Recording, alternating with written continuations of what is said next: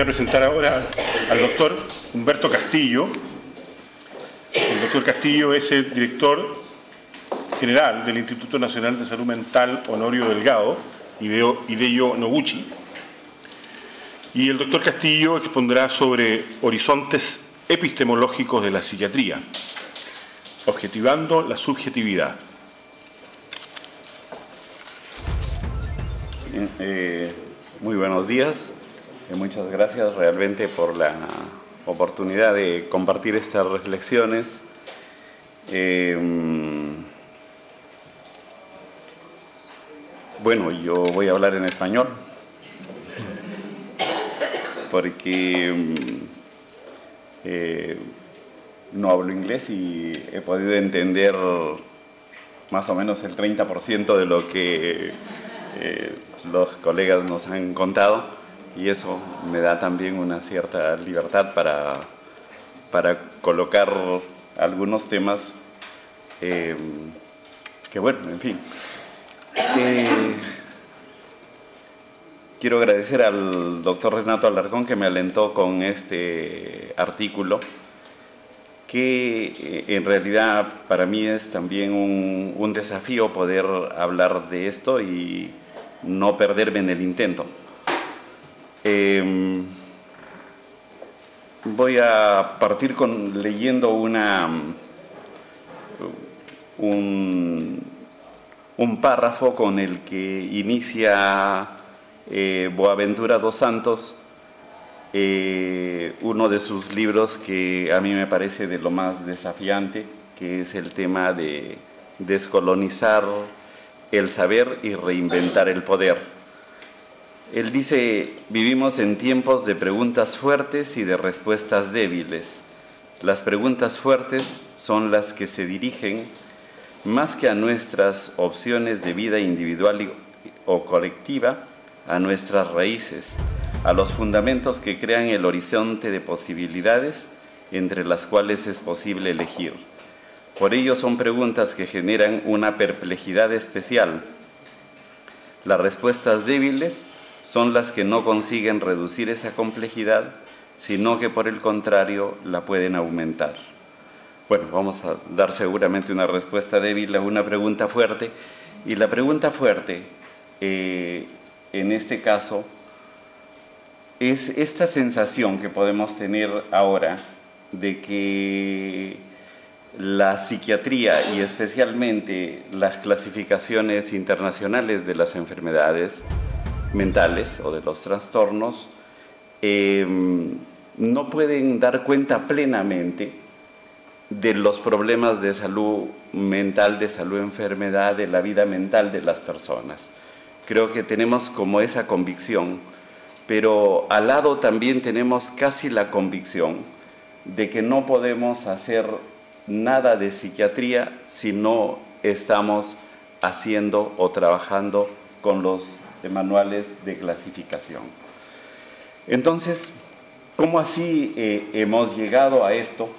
y cómo de alguna manera podemos buscar las salidas a esto? Em, entonces yo voy a ir leyendo algunas cosas que, he escrito para esta, para esta presentación, de tal manera que, que no me pierda. Desde su origen, la psiquiatría como una especialidad médica se ha esforzado por objetivar la subjetividad y así, en la dureza de su objeto, construir y reclamar una cierta objetividad al lado de las otras ramas de la medicina. era difícil este tema porque a los psiquiatras y a la psiquiatría de alguna manera el otro lado de la medicina nos miraba raro yo trabajaba en una clínica general y cuando llegábamos a las reuniones del cuerpo médico decían, llegó el psiquiatra y la gente se pone de alguna manera en una predisposición diferente, como si nuestra práctica sería algo esotérica, algo diferente a lo que es la práctica de la medicina. Creo que esta tarea de objetivar el objeto, un objeto subjetivo, o sea, porque estamos sobre eso, sobre las experiencias subjetivas de las personas y buscamos construirlo en objetos que puedan ser asibles, intervenibles, desde una ciencia como la medicina. Eh, entonces creo que esto lo hemos logrado bastante bien y lo hemos logrado a través de, de la conformación del síntoma como un objeto, básicamente apoyándonos en la forma más que en el contenido. Entonces ya no cabe duda a un psiquiatra o a un médico, no le cabe duda que la depresión, la esquizofrenia son objetos tan concretos como una hepatitis o como cualquier otra enfermedad y por tanto son susceptibles de ser diagnosticadas y tratadas. Sobre esta base también de objetivar la subjetividad a través de la forma, hemos podido construir una epidemiología psiquiátrica. Y esta epidemiología psiquiátrica es capaz de calcular prevalencias, incidencias, factores de riesgo, hacer predicciones y nos ha permitido eh, plantear, digamos, esta cantidad de problemas de salud mental, de trastornos, y decir ahora, por ejemplo, que el 20% o 25% en algunas encuestas más de la población tiene algún trastorno mental y de alguna manera sea susceptible de algún tipo de diagnóstico o tratamiento. También nos ha permitido establecer eh, las relaciones de costo-beneficio, de costo-eficacia o de impacto económico de esto y poder decir también que las enfermedades mentales, las enfermedades neuropsiquiátricas o que la depresión no es, eh, digamos, la primera causa de carga de morbilidad en el grupo etario de 15 a 45 años en el Perú y seguramente sabemos que en el mundo eh, ocupa un papel eh, predominante. Eh, con el desarrollo de las neurociencias, o sea, también nos permite encontrar esta asociación entre esta expresión mental con alguna forma más o menos evidenciable a una mm, epistemología más positivista y poder eh, plantear, digamos, la psiquiatría también como una ciencia híbrida, como lo plantea el doctor Germán Berríos. Creo que hemos convencido a esta altura, ¿no? hemos convencido a otros médicos, profesionales de la salud, salubristas, politólogos, políticos, tomadores de decisiones, de que es rentable atender los problemas de salud mental y que es posible que podamos tener eficacia en ellos. Muchos países han emprendido reformas, eh, el mercado de psicofármacos se expande exponencialmente, la atención psiquiátrica va permeando el sistema general de la atención. Podemos decir, digamos que la psiquiatría entró psiquiatrizó de alguna forma la medicina, ¿no? y la medicina incorporó también a la, psiquiatría. Eh, cuando vemos en, este punto, podemos un poquito pasar a, este, eh, a, un sueño de que eh, la, psiquiatría y la salud mental podrían ser este, podrían haber llegado a un punto importante, digamos. Eh, si el estigma de la salud, de la, enfermedad y de la atención de la salud mental se está resquebrajando, si la cuarta parte de la población asumiera que tiene una enfermedad mental y buscara atención,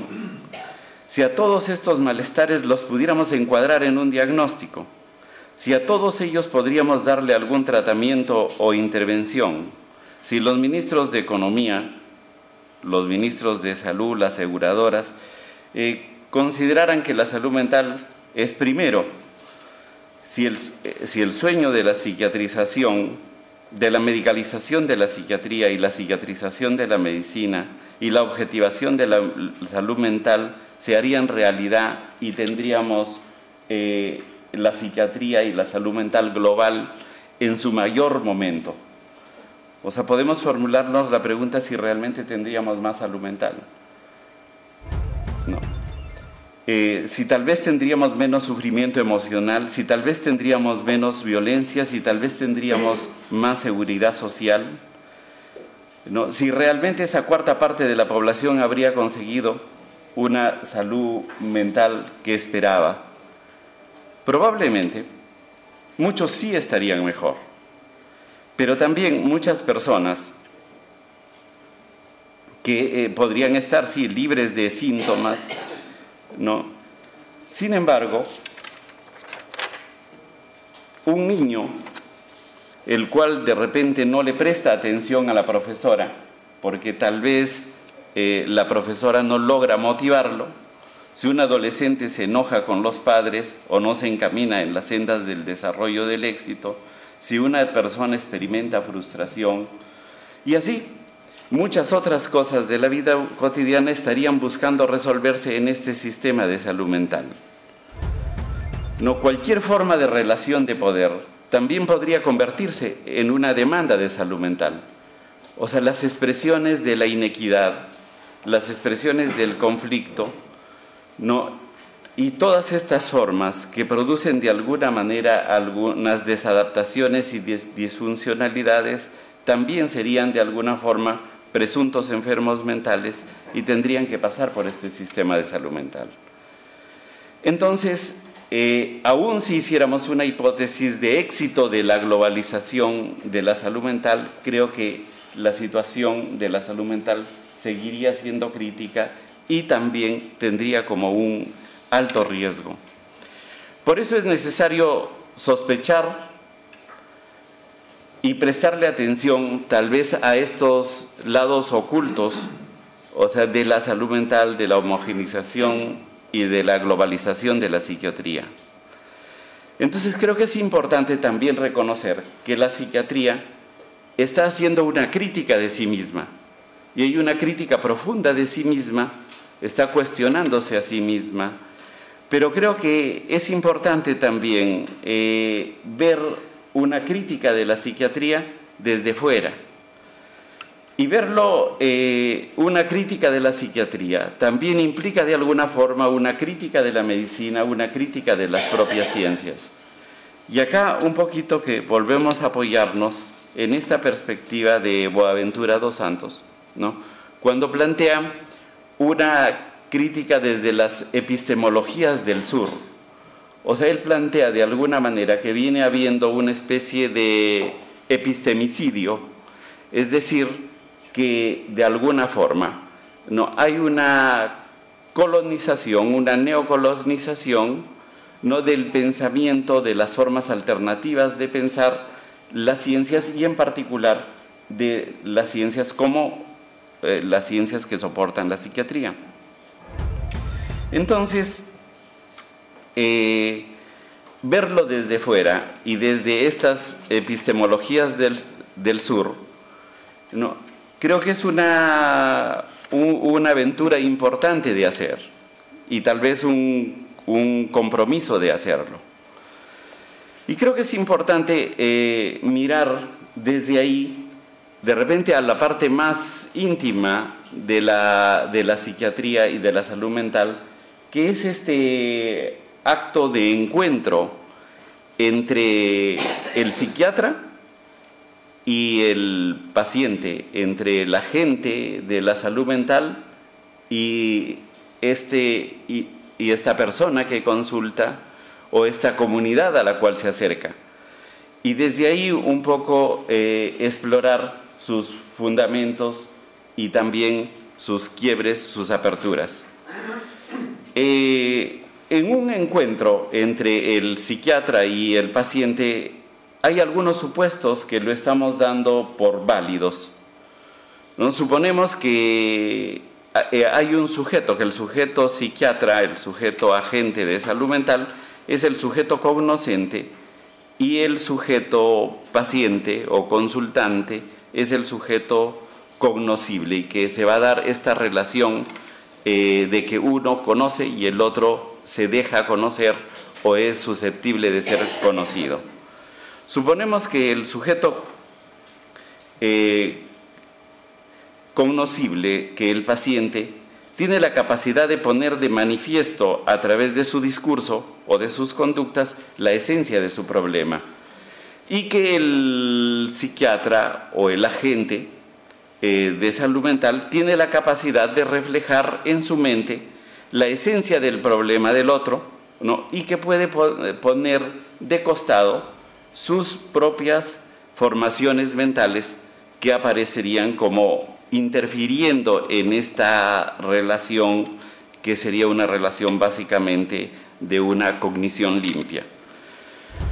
Los conceptos y otras construcciones de las que está armado el psiquiatra no podrían eh, tienen mayor tendrían mayor capacidad de contener de explicar y de predecir el curso de las vivencias problemáticas del otro. O sea, eso es lo que suponemos y de este modo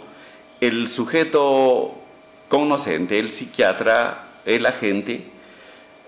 eh, estaría eh, dándole un aporte a la vida, a la calidad de vida del otro. Y obviamente el, sujeto paciente también de alguna forma va a recompensar este valor que otorga el psiquiatra o el agente en este proceso. Em, este proceso se hace recurrente y en esta recurrencia, eh, en el repetirse varias veces, va ganando su legitimidad y su expansión y hasta su globalización. No, eso eh, al darse este, eh, este círculo de, en el que de alguna manera hay un aporte en la vida sobre del otro, en el que le reduces el sufrimiento del otro, entonces se va haciendo legítimo y se va haciendo incuestionable de alguna manera este modelo. Em, sin embargo, eh, habría algunas cuestiones en este acto que convendrían revisarlas. Y en estas cuestiones quizás queremos un poquito poner el, énfasis y la crítica, digamos justamente desde algunos pensadores del sur. ¿no? Y eh, encontrar, por ejemplo, cómo eh, va apareciendo esta ilusión de objetividad y que en esta pretendida objetividad que justificamos la, acción psiquiátrica es en realidad eh, una ilusión. Y eh, acá vemos y recurrimos a un, a un pensador importante eh, de acá justamente, chileno, ¿no? Como Humberto Maturana. Humberto Maturana cuestiona de modo esencial la objetividad y la neutralidad del conocimiento al, poder, al poner al mismo conocimiento como un mecanismo adaptativo de las especies de acuerdo a sus propios modos de existencia y en sus contextos correspondientes. O sea, lo cual saca el conocimiento solamente de la especie humana y lo va a poner en todas las especies y va a poner que ese conocimiento está regido por básicamente la forma como se organiza ese ser vivo. Cuestiona el propio proceso de la percepción y la realidad como independiente del sujeto que, se, que suele ser la base de la objetividad. La realidad o lo que vivimos como tal no es más que una construcción de nosotros mismos como parte de los intercambios que se dan entre nuestra organización como seres vivos, organización peculiar, con nuestro, con nuestro entorno. O sea, el conocimiento no es más entonces que una forma de adaptarse al medio y solamente podemos ver lo que nos resulta significativo para nuestra existencia. Lo que no resulta eh, significativo para nuestra existencia no tiene sentido. Y esto que lo reflejamos como realidad no es más que esa negociación entre tus necesidades adaptativas y los elementos significativos del medio que permiten esa existencia. Em, este cuestionamiento de la propia percepción como la base del conocimiento eh, hace que eh, pone, digamos, la objetividad como una cuestión bastante relativa. Asimismo, Maturana al reflexionar sobre el funcionamiento de los seres vivos, encuentra que la propia materialidad de la, de, la realidad, de lo que aparece como realidad, no es la base de la objetividad, porque es lo que quedaría de manifiesto de que muchas de la que en un ser vivo, en cualquier objeto, lo fundamental es la organización, más no el, contenido, la materia. Puede ser que en términos materiales los huesos que tenemos ahora no son los mismos huesos que teníamos antes, sin embargo, siguen siendo huesos. Por tanto, la eh, la esencia no está en esta materia empíricamente demostrable, sino está en la forma como se organiza. El, pensar de ese modo creo que es un, tema muy importante para, para, la psiquiatría porque de alguna forma nos devuelve y nos da legitimidad a esta forma que, que, que planteamos de objetivar el síntoma en su forma y no en su contenido. Pero a la vez eh, nos permite una, una apertura y pone casi en el mismo nivel epistemológico a diferentes y a otras formas de pensar, de entender, de explicar los procesos mentales, entre ellos, por ejemplo, al psicoanálisis, a las psicologías sistémicas y a una diversidad eh, de experiencias, de pensar, actuar, los va poniendo como en el mismo suelo epistemológico, en el mismo nivel epistemológico, al de alguna forma eh, demoler esta jerarquía que se da sobre la evidencia empírica. Y creo que de esta manera también, eh, de alguna forma, cuestiona esta, eh, eh, eh, esta forma de pensar la psiquiatría como un asunto fundamentalmente basado en evidencias o en un cierto tipo de evidencias que son evidencias que devienen más de epistemologías positivistas. En Maturana también al plantear el conocimiento como una función biológica que nos permite adaptarnos a los entornos, eh, nos permite pensar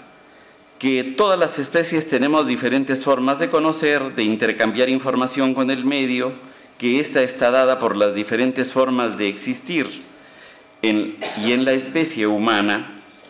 eh, se destaca justamente este rasgo